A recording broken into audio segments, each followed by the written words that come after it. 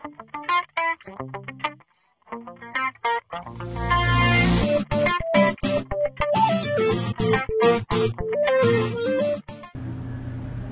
getting registered with ebay you have to get registered with paisapay. Paisapay is the safest payment mode on ebay.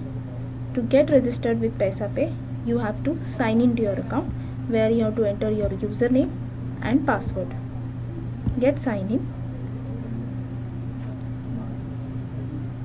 then click to my paisapay you will be redirected to this page where you have to click to register to sell with paisapay then you will be redirected to this page where you have to enter all your paisapay registration details.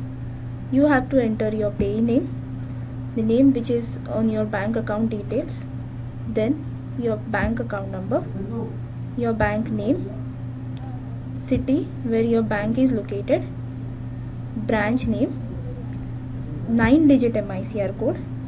MICR code is available on your bottom of your checkbook. Then comes the paisapay seller terms and condition. Just go through the seller terms and condition and click to the box below and then get registered